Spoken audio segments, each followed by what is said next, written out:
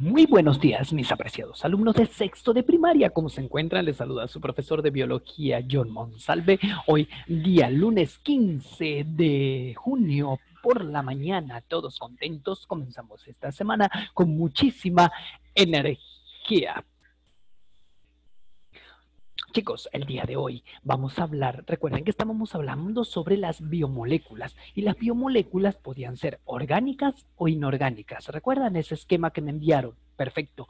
Ahora, dentro de las biomoléculas orgánicas estaban las que hablamos la semana pasada, que eran los glúcidos. Ahora, en esta oportunidad les voy a hablar sobre los lípidos. Sinónimo de lípidos, ya te lo voy a escribir aquí. Sinónimo de lípidos, grasas es lo mismo hablar de lípidos o de grasa. Por eso les coloco todas estas, estas imágenes acá. Miren, estas ricas papas fritas, esta rica hamburguesa, esto mm, ricos helados, ¿sí? Pero también tenemos este rico maní, tenemos este rico aceite de oliva, esta rica palta, estos ricos lácteos, también tenemos estos ricos huevos fritos.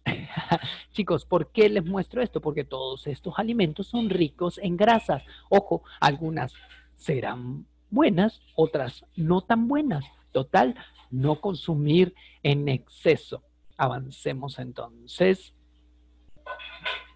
Bien, como todo tiene un propósito, una finalidad, la finalidad de esta clase es comprender todo lo que podamos sobre los lípidos, ¿ok? O por lo menos lo más esencial, porque bueno, estás en sexto grado, estás recién iniciándote en estos conceptos y vamos a hablar sobre lo esencial, lo puntual, sobre los lípidos. Ya después si te queda una curiosidad por allí, pues bueno, excelente. Buscas en internet en un sinfín de información sobre los lípidos. Vamos avanzando entonces.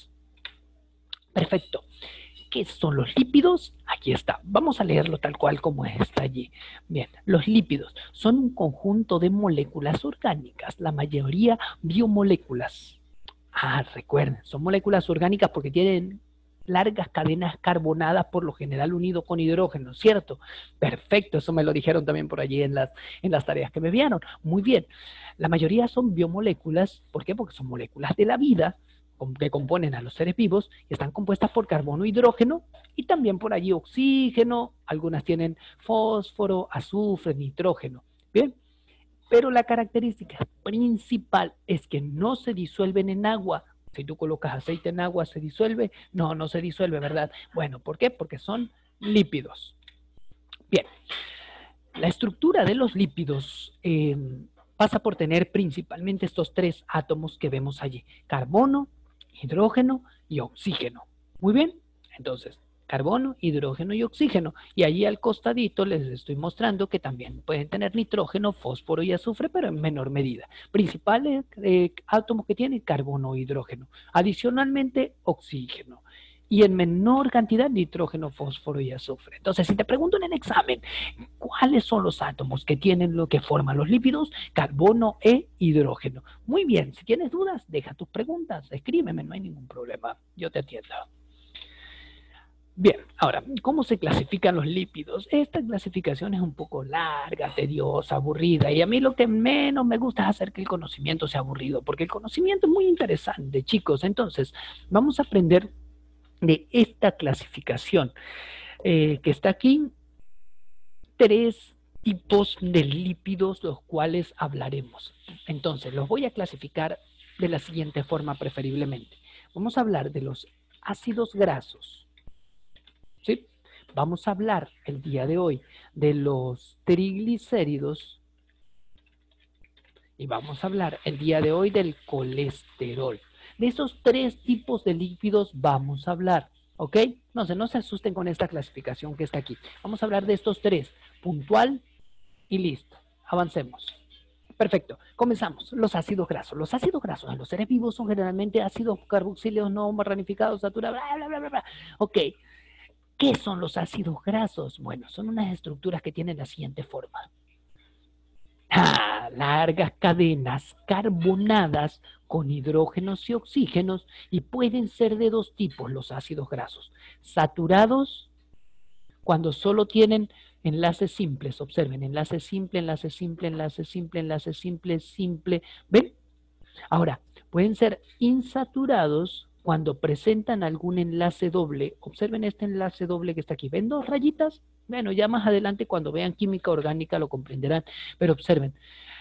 Los ácidos grasos pueden ser saturados o insaturados y dependiendo de qué tipo sean, serán más buenos para la salud o más perjudiciales para la salud. Veámoslo. Por ejemplo, aquí tenemos grasas saturadas y grasas insaturadas. Las grasas saturadas, como dice acá, son conocidas como grasas malas. Son sólidas a temperatura ambiente como la mantequilla. Mm, qué rico mantequilla, ¿verdad? mantequilla o margarina, rico.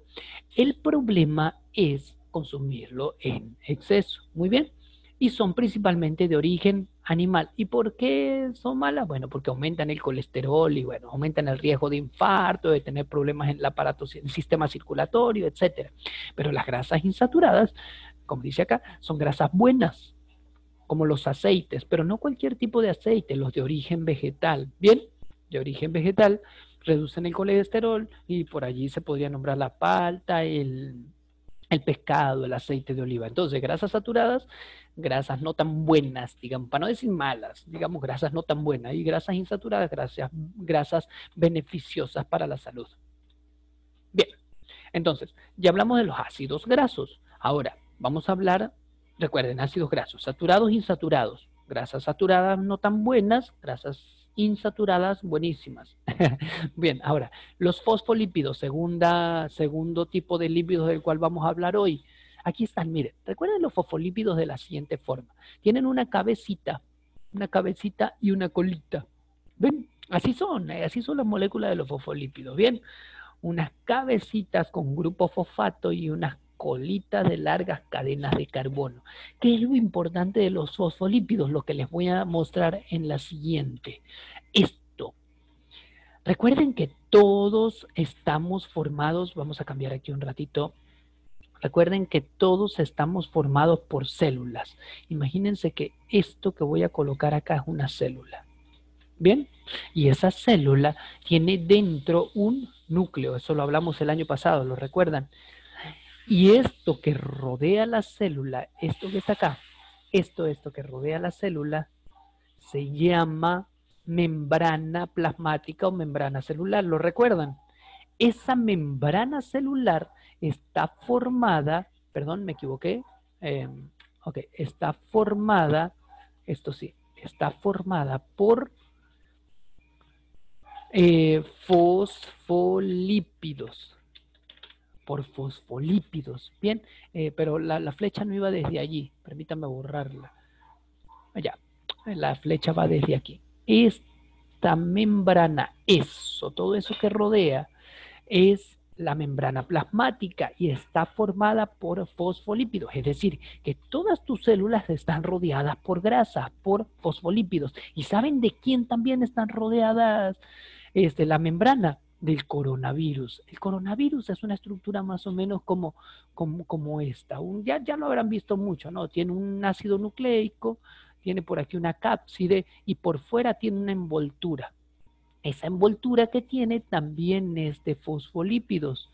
Y como es grasa, ¿con qué se elimina la grasa? Con los jabones. Por eso es importante lavarse bien las manitos con agua y jabón. bien, chicos.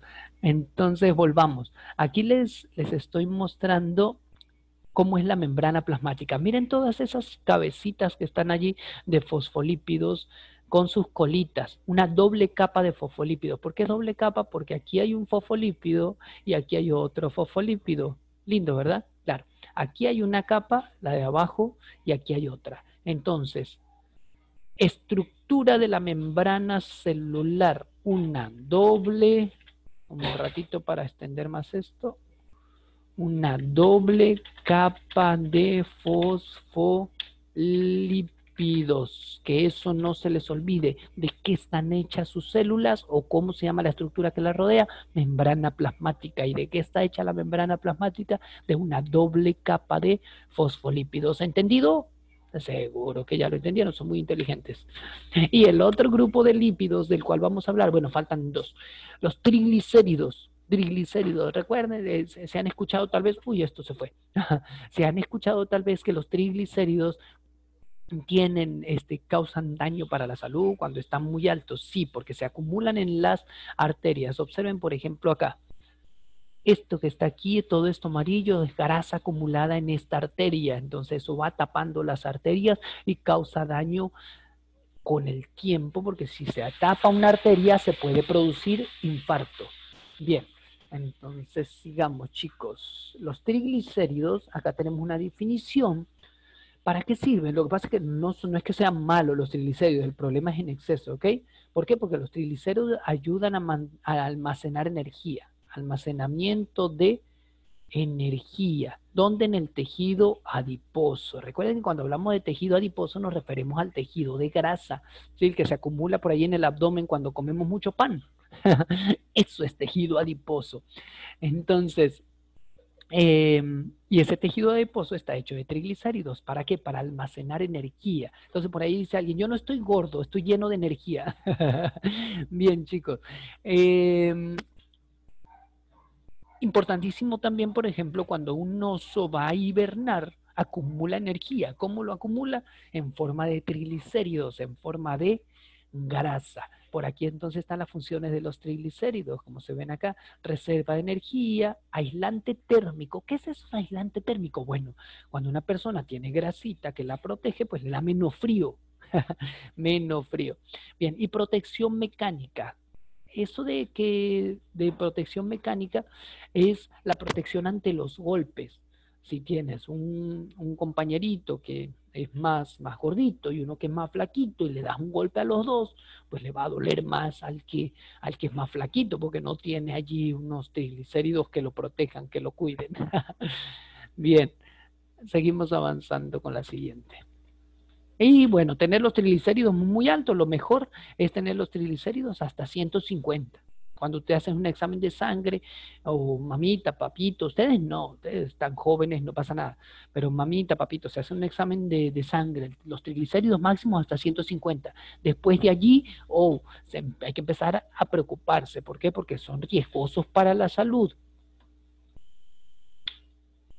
Y por último, hablar del colesterol. Por allí el colesterol tiene, es esta fórmula química que está aquí, así, tiene esa forma como está allí. Es importante por varias cosas que les voy a mostrar a, continuación. Es importante el colesterol porque se utiliza en la formación de membranas celulares, hormonas, ácidos biliares, la vitamina D. También las membranas celulares, así como estaban formadas de los fosfolípidos, también están formadas de colesterol. Algunas hormonas que tenemos en nuestro cuerpo, como por ejemplo la testosterona en los hombres, que nos da esa voz de, de machos, este, esas hormonas eh, están, se fabrican a partir del colesterol. Bien, avanzamos. Ahora, colesterol bueno, colesterol malo, ahí está en inglés, ¿ok? Good cholesterol, bad cholesterol, eh, colesterol bueno, colesterol malo. Eso también tal vez lo, han escuchado cuando eh, hablan por allí los adultos. ¿Qué es eso? Bueno, el colesterol malo, colesterol malo, se le llama así LDL, ¿Y por qué es malo? Porque tapa las arterias. Observen estos tapones de grasa que están aquí, son de colesterol malo. Y el colesterol bueno, que se llama HDL, es bueno porque va como, como, una, como una escoba, barriendo todo el colesterol malo. Entonces, colesterol malo se llama, que no se te olvide, LDL. Colesterol bueno se llama HDL. ¿Qué significan esas siglas? Ah, si te lo digo, nos enredamos mucho. Lo puedes buscar por allí, ¿ok?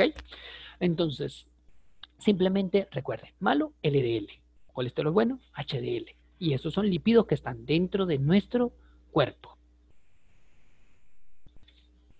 Y ya para concluir esta presentación del día de hoy, les dejo lo siguiente. La educación es el gran motor del desarrollo personal. Es a través de la educación como la hija de un campesino puede convertirse en una médica, el hijo de un minero puede convertirse en jefe de la mina o el hijo de trabajadores agrícolas puede llegar a ser presidente de una gran nación. Por eso, chicos, no detengamos la educación a pesar del coronavirus, a pesar de que estemos lejos, sigamos aprendiendo desde casita. No dejemos nunca de leer ni de estudiar, porque en ese momento se empiezan a morir, a atrofiar nuestras neuronas. Cuídense mucho, salgan un rato de sus computadoras, abran un librito que les interese, no lean un libro que les obliguen a leer, no lee un libro que te interese, porque de esa forma comenzarás a cultivar la lectura en tus hábitos diarios. Cuídense mucho chicos, se despide de nuevo su profesor de biología, John Monsalve. Hasta la próxima.